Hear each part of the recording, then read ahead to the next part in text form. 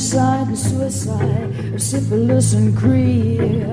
Speak to me the language of love, the language of violence, the language of the heart.